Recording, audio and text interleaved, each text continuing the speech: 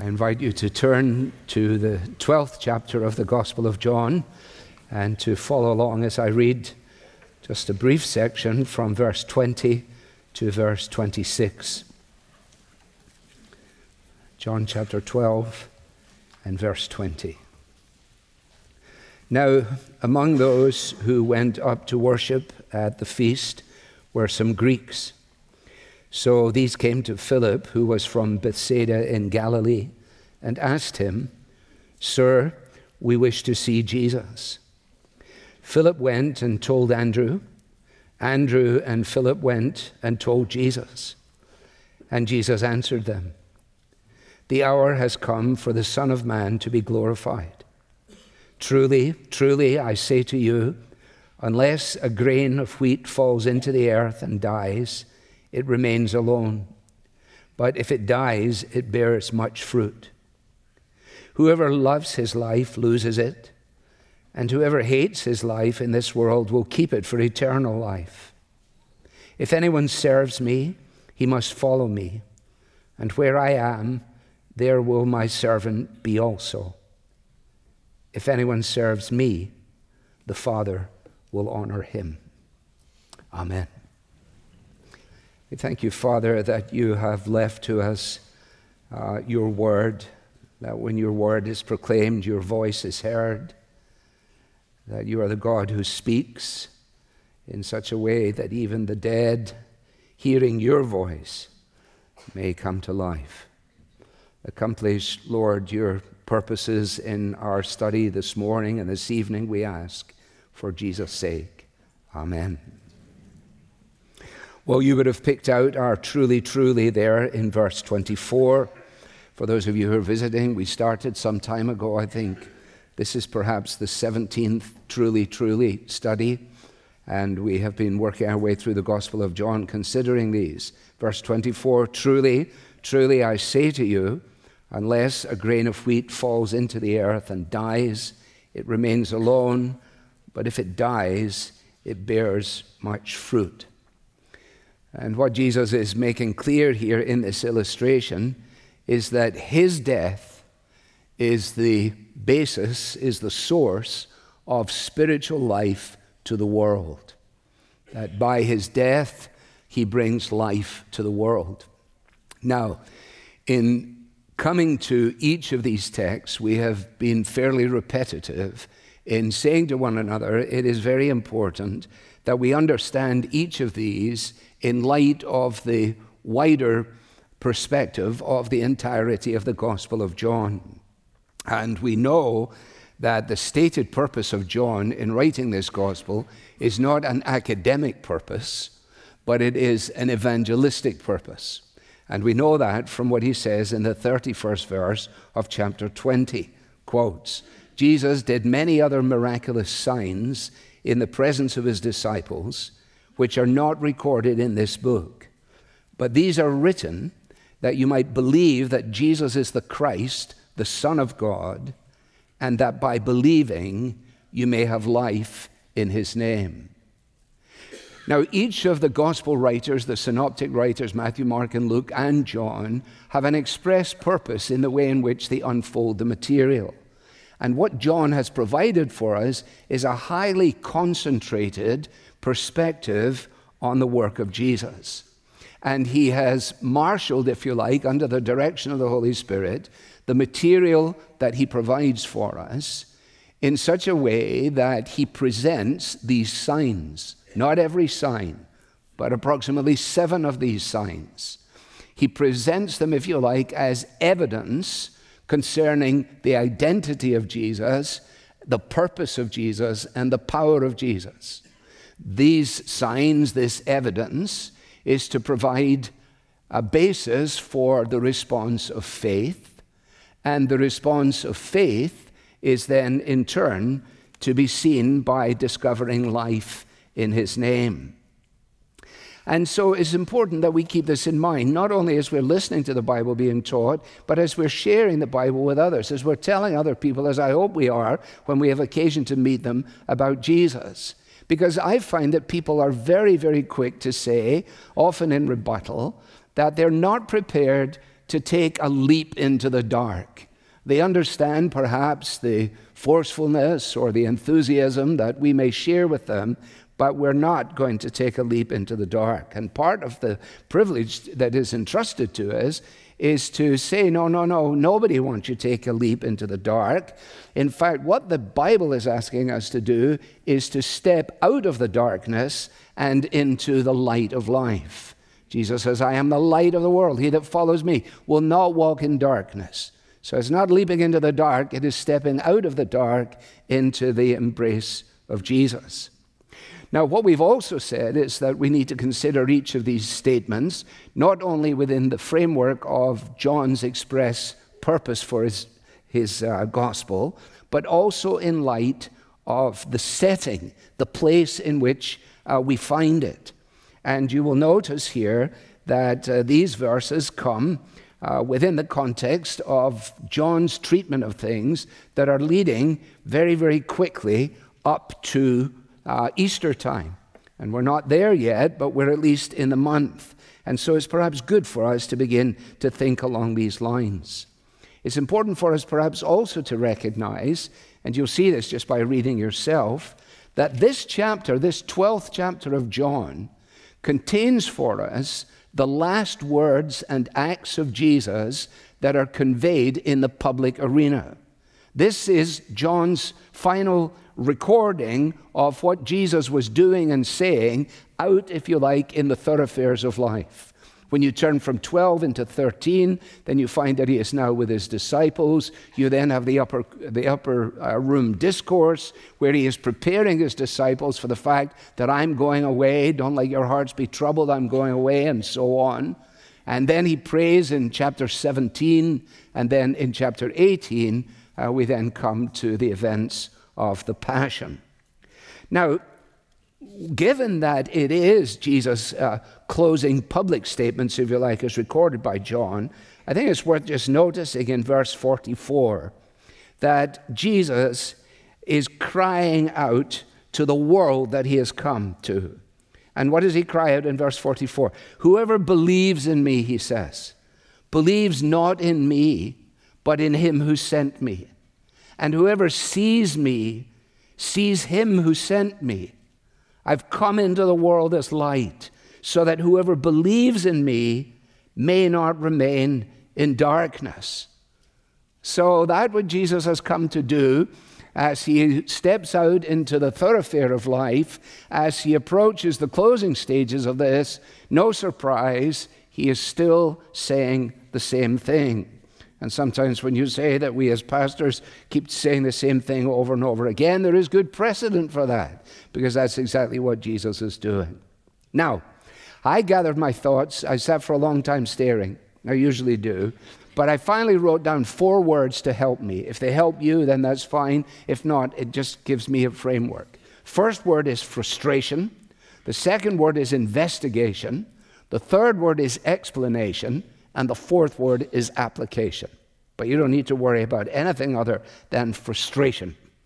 Not that you're going to be frustrated by this, although there is a possibility that you will be.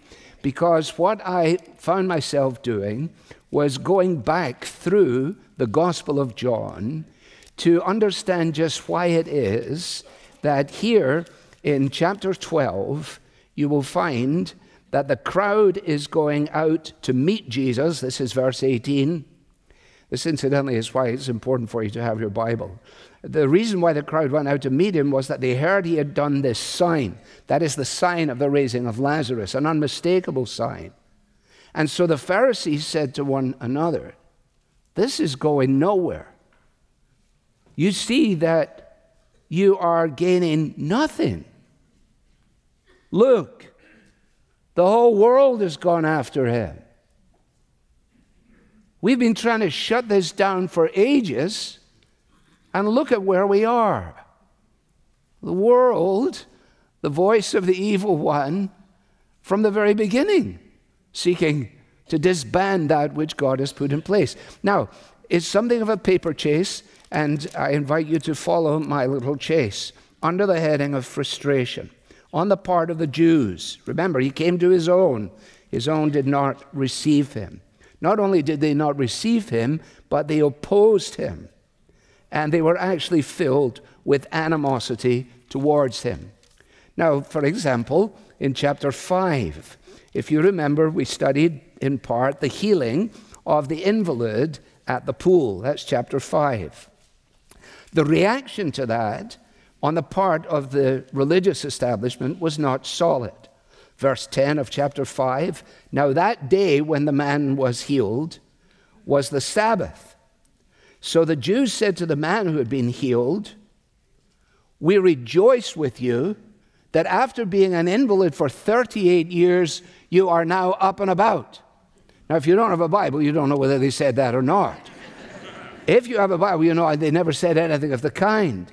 They said, It is the Sabbath, and it's not lawful for you to take up your bed.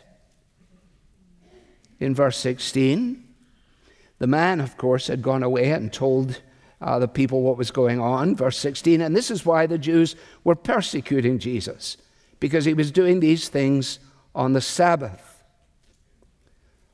And he says to them, Well, you should just know that my Father works on the Sabbath.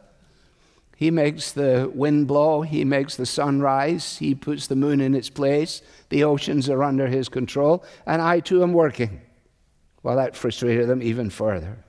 Verse 18 this was why the Jews were seeking all the more to kill him, because not only was he breaking the Sabbath, but he was even calling God his own Father, making himself equal with God. Now, remember what John's purpose is? Uh, I've provided these things in order that you might believe that Jesus is the Christ, and that by believing you might have life in his name. And they hear this, and they say, No, we want nothing to do with that at all. We can move from uh, 5 into chapter 7, where we have the record of the, Jesus at the Feast of the Booths. And on that occasion, we're told by John there was a tremendous amount of muttering uh, that was going on. Uh, there in verse 12. And there was much muttering about Jesus among the people. While some said he's a good man, others said no, he's leading the people astray. Yet, for fear of the Jews, no one spoke openly of him. And in fact, what they were seeking to do was arrest him. You can see that in verse 30. So they were seeking to arrest him, but no one laid a hand on him because his hour had not yet come. We'll come back to that later. Yet many of the people believed in him. They said, When the Christ appears, will he do more signs than this man has done? And the Pharisees heard the crowd muttering these things about him, and the chief priests and the Pharisees sent officers to arrest him. As you read on in the chapter, you find that there was a division among the people. Uh, when they heard these words, some of the people said, verse 40, this really is the prophet. Others said, this is the Christ. Some said, Is the Christ to come from Galilee? It's, a, it's interesting. It's the kind of thing you would have in a conversation, perhaps, as you're sitting waiting for an air, airplane and somebody starts the conversation and they say the very same thing. Well, you know, I've, I've given some thought to Jesus. I'm from a Muslim background. I actually believe that he was a prophet. And somebody says, Well, he wasn't simply a prophet, he was actually the Messiah of God. Oh, says my Muslim friend, but I don't believe that. And then we have to say, Well, who's right here? Is he simply a prophet? Or is he the actual incarnate Son of God? This is the Christ. But some said, is the Christ to come from Galilee? And then they have a big interchange about that. It's quite, it's quite wonderful, actually. And then in verse uh, 45, then the officers, the officers then came to the chief priests, who said to him, Why did you not bring him? Because remember, they sent the officers to get Jesus. We're going to have to uh, close, him, close him down. And the officers come back and they don't have Jesus. Why didn't you bring Jesus? Well, they said, Nobody ever spoke like this man. And the Pharisees said, Oh, no, you're not telling me that you've swallowed this now as well. You, you guys, you're the officers. You're supposed to be taking care of this. Have you been deceived by him? Isn't that what some of our unbelieving friends say? You've just been deceived. You've swallowed a bill of goods have been deceived? Have any of the authorities of the Pharisees believed in him? what they're saying is this you don't see any of us believing in Jesus. But the crowd the ignorant crowd, the people that don't know the law, they're accursed. What a level of frustration, you see, when an individual wrestling with who Jesus is and what he's done decides again and again to have nothing to do with him. That might be where you are today, I don't know. Chapter 8, I told you it's a paper chase. Chapter 8 and verse 39. Jesus has told them that the truth is going to set you free. And uh, you can read that on your own for homework. Eventually, it hits the point in verse 58. Jesus said to them, Truly, truly, I say to you, before Abraham was, I am. Well, that did it. That was clarity, wasn't it? Uh, that pushes them over the edge. And so they picked up stones to throw at him. But Jesus hid himself and went out of the temple. How amazingly frustrating. Chapter 9 is fantastic, isn't it? You remember uh, the man born blind.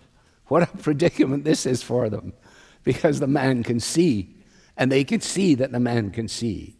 But they don't want to believe why it is that the man can see. The person says, you know, in fact, uh, thinking of Wesley, Wesley um, was, was uh, a vicar who had a problem with booze and a horrible bad temper while he was a vicar because he was an unconverted minister. It was only when his heart was strangely warmed and he discovered the reality of who Jesus is that he discovered abstinence, as it turns out, and he began to get his temper by the power of the Holy Spirit under his control. But when he and his brother came to their mother and said, we just actually have discovered who Jesus is. Their mother said, Oh, no, no, you've, you've known who Jesus is for a long time. You're, you're a minister, for goodness sake. They were unconverted ministers, offering the bread of life to people, having never eaten the bread themselves.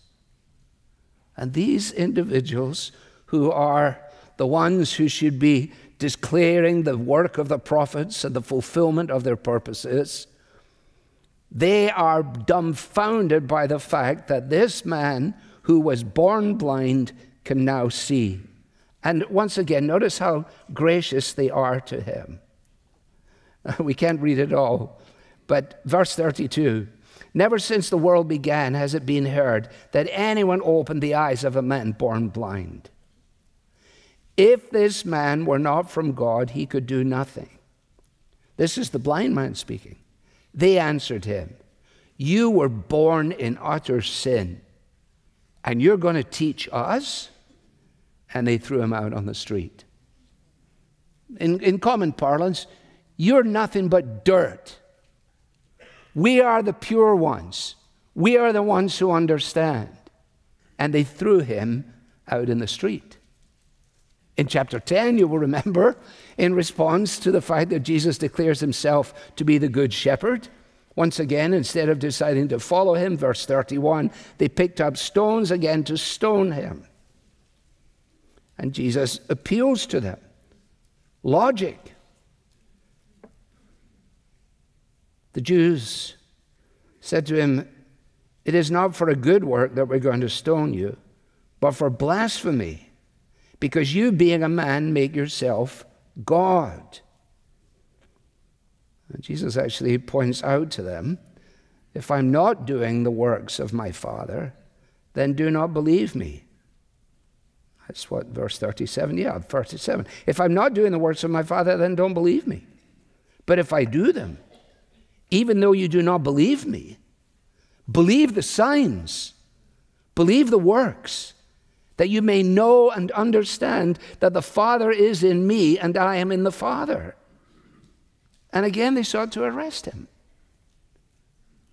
You see, the Jews who are opposing him are right to conclude that Jesus is claiming deity. That's, that's their problem. They realize that he's actually declaring himself to be the Messiah. And they're right to recognize that claim. what they're wrong about is then assigning to him blasphemy. Because the irony actually is they are the true blasphemers. They are within touching distance of the Messiah. They are the ones who have been present to see his miracles, to hear his words. And he is speaking clearly to them. He's compelling, if you like, them to think logically about things. Forget this idea that the way you become a Christian is you disengage your brain and put it under the seat and try and feel your way into something. No, not for a moment. And so we're told that he escaped, and he escaped from their hands, verse 39.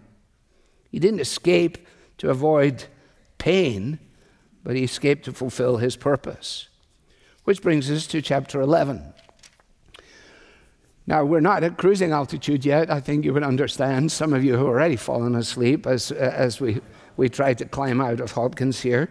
But um, chapter 11, what a shame that there is no truly, truly in chapter 11. This is such a disappointment to me because I wanted to do chapter 11. And on another occasion, I hope we'll come back and just study the chapter in its entirety. But you know what has happened. And you know that in the interchange that takes place between Jesus and Martha and Mary, the striking question that falls right in the middle of it all, and it is a question for the ages, isn't it? Where Jesus, having said, I am the resurrection and the life, whoever believes in me, even though he die, yet shall he live. And to everyone who lives and believes in me shall never die. And then here's the question Do you believe this? Do you believe this? He's not asking, Do you believe in religion? He's not asking anything other than, Do you believe this? Coming to a belief, which in John's terminology involves personally committing oneself to Jesus as Son of God, Savior, Lord, Lamb of God, and King. You see, Wesley had all the terminology, he could preach it, but he had never bowed his knee to Jesus. He believed certain things intellectually, but there had been no commitment of heart and life laying hold of Jesus as the very one that he proclaimed. And so she said to him, Yes, Lord, I believe. What do you believe? I believe that you are the Christ, the Messiah, the Son of God who is coming into the world. And I find it quite wonderful that she expresses that belief before she sees her brother Lazarus being raised from the dead. She doesn't say, Well, hang on, let me just see what's going to unfold here. And I'll hedge my bets. No. Now, if you think about it, the first sign that was done was in chapter 2 at the wedding in Cana of Galilee. Remember, uh, we've run out of wine. Mary comes, says to Jesus, We've got a problem here. Jesus says, Well, you know, it's not really what I'm on about, but, you know, I can help you out this one time. And uh, so that happens. Almost in, almost in, uh, in a hidden way. I mean, by and large, the people at the wedding, unless they went to inquire, would not have necessarily identified what had taken place in the dialogue between Mary and her son, but they were the beneficiaries of it. This one is unmistakable. This one is an unmistakable drama. You need to read it for yourself again and realize just how amazing it is that Jesus speaks to a dead man. Verse 43 When he had said these things, he cried out with a loud voice, Lazarus, come out. Who speaks to dead people? Only Jesus. Only Jesus in the entire world has the authority to bring death, our final enemy, and crush it underneath the reality of his death and resurrection. We'll eventually get there. Unless the grain of wheat falls into the ground and dies, we remain alone. But this is me and this is what I'm doing. And that is why I am able to call Lazarus out of the grave. It's fantastic. He gives the people around a little, a little piece of the puzzle, you will notice. Verse 39 the stone lay against the tomb, and Jesus says, Take away the stone. That's your part. Well, he didn't need anybody to take away the stone. He just says, You take away the stone. You'll never forget taking away the stone. You're dead right, says Martha. He's been dead for four days. He will not be smelling like your aftershave, that's for sure. This is not going to be good. Take away the stone, he says. And so they took away the stone. And then Jesus prays. He prays. Well, that's verse uh, 41b. And Jesus lifted up his eyes. He prays audibly, publicly, briefly, and purposefully. Father, I thank you that you've heard me. I knew that you always hear me. But I said this on account of the people standing around, that they may believe that you sent me. You see? It's the constant refrain. This is why I have come. This is why I'm saying what I'm saying. This is what I am doing. This is why I'm doing what I'm doing. And he gives them another little part in the puzzle. And the man who had died came out, his hands and, and feet bound with linen strips and his face wrapped with a cloth. Jesus says, Hey, cut him loose. Let him go. Only Jesus will save our friends. Only Jesus will save our kids. We might have the opportunity to pull the stone away so that we might see the evidence of it. We might have the privilege of snipping off some of the tying pieces of the puzzle that have kept our children enslaved or whatever it might be. God working individually, powerfully, and yet including us in the process. What do we discover? Verse 45 Many of the Jews, therefore, who had come with Mary and had seen what he did, believed in him. Many believed in him. Verse 46 But some of them went to the Pharisees and told them what Jesus had done. So the chief priests and the Pharisees gathered the council and said, What, what are we going to do? For this man performs many signs. What are we to do? Frustration.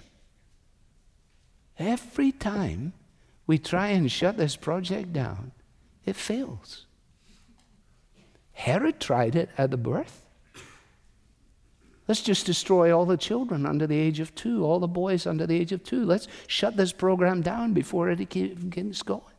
The evil one deals with it in the context of the temptation of Jesus in the wilderness. Throw yourself down all the way through the story, right up until today.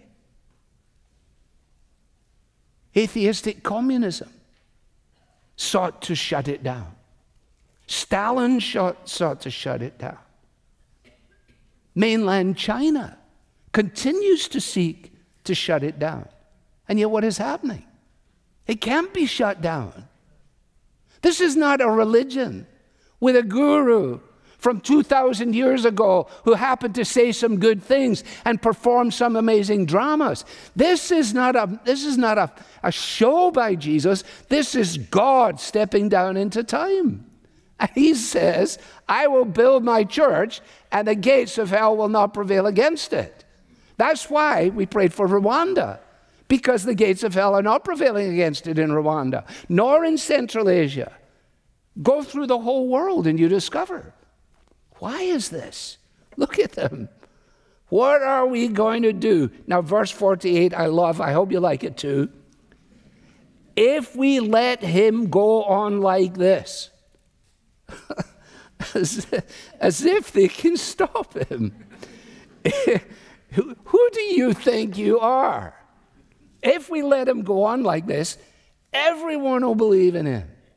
And then our whole position is going to collapse, and the Romans are going to come and shut us down. And Caiaphas, speaking in a purely physical and logical way, actually speaks prophetically, and we'll ignore that for now. These individuals missed nothing but the point. They missed nothing but the point.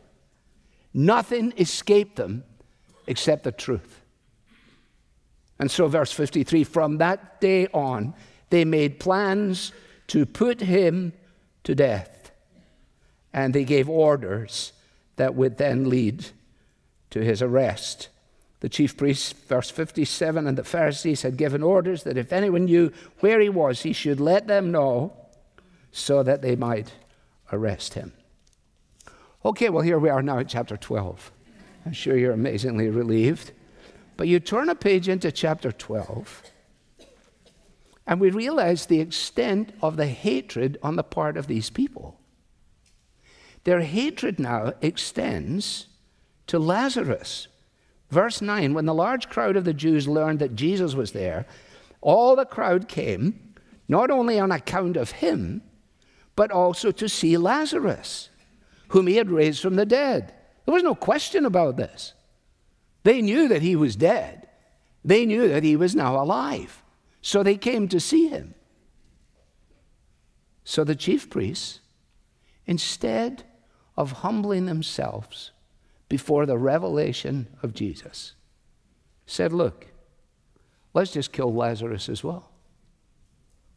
We'll exterminate Jesus and we'll exterminate Lazarus, and that'll take care of the whole program.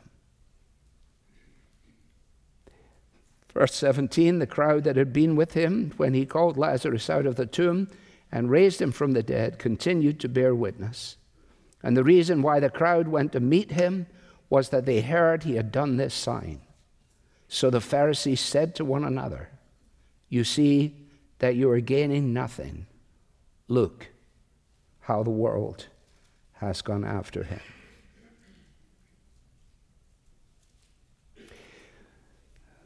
Wow. What do we know? We know this that evidence itself does not compel belief. You and I will never argue a single soul into the kingdom by the logic of our reasoning. Well, says somebody, does that mean that we should abandon any attempts to point people in a logical way to the consideration of the claims of Jesus. No, it doesn't mean that at all. And the best that I have found in relationship to that is from the pen of Gresham Machen, who was uh, a teacher at Princeton before he uh, began Westminster Seminary. And this is what he says, and I want you to listen to this carefully. There must be the mysterious work of the Spirit of God in the new birth. Without that, all our arguments are quite useless. But because argument is insufficient, it does not follow that it is unnecessary. What the Holy Spirit does in the new birth is not to make a person a Christian regardless of the evidence, but on the contrary, to clear away the mists from their eyes and enable them to attend to the evidence. Spurgeon more succinctly says this When a person is brought to faith in Jesus, when somebody says, Lord, I, I believe, I, I trust in you, I turn from myself, I look to you, Spurgeon says, the mysterious hand of the divine Spirit dropped the living seed into a heart that he himself had prepared for its reception. Do you get that? That when a person comes to faith in Jesus Christ, and when they are actually surprised by it, as, as C.S. Lewis says, that he was surprised by joy, what has happened there? Well, it is a divine work. But it wasn't as a result of some great feeling, it involved all kinds of elements. But the mysterious work of taking that seed, like a grain of wheat that must fall into the ground and die, that taking that seed, it's now planted in a heart that God, who gives the seed, had prepared that very heart for its reception. Now, this is this of course is so vitally important not only as we study our bibles together but as we seek to encourage others to believe. Jesus was very very straightforward in addressing these individuals and uh, making it clear to them. He says the father who has sent me this is chapter 5 the father who has sent me has himself borne witness about me his voice you have never heard, His form you have never seen, and you do not have His word abiding in you, for you do not believe the one whom He has sent. When Paul, who himself was blind, uh, came to understand who Jesus is and what he's done, and when he then wrote his letters, there's no surprise that he is saying the very same thing. In 2 Corinthians, he says, You know, the mercy, the ministry that we have in teaching the Bible is by the mercy of God. We don't lose heart. We're not using cunning. We're not tampering with the Bible. But by the open statement of the truth, we would commend ourselves to everyone's conscience in the sight of God. And then he says this And even if our gospel is veiled, it is veiled to those who are perishing.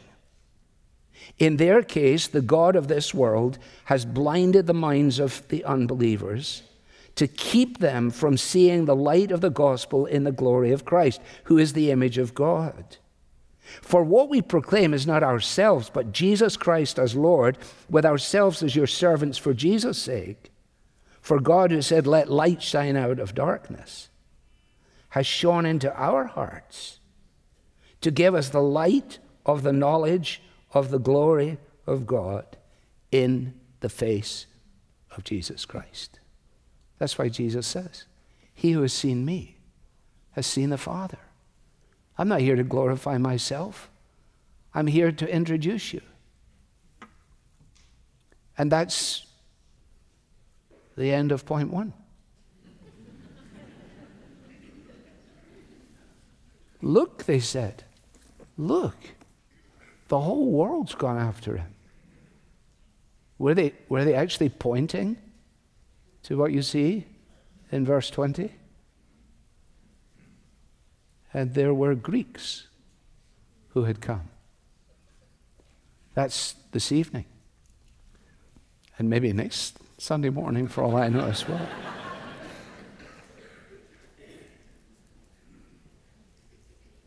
And Jesus looked her in the eyes and he said, Do you believe this? That's the question. Oh, Father, thank you for your word. Thank you that we can read it, ponder it, and know that you speak to us through it. There's such a mystery as we unpack these various passages that these individuals who had the law, who had the prophets, who had Moses, when confronted with the fulfillment of all these prophetic words, they said no. They wanted a God of their own making. They wanted a God who fit their expectations. And that may be why some of us have never bowed our knee to Jesus because we want him to be a certain kind of Jesus. Show us, Holy Spirit, we pray, the only Jesus that there is. And help us to receive him in all of his powerful fullness, in order that by believing we might have life in his name. Amen.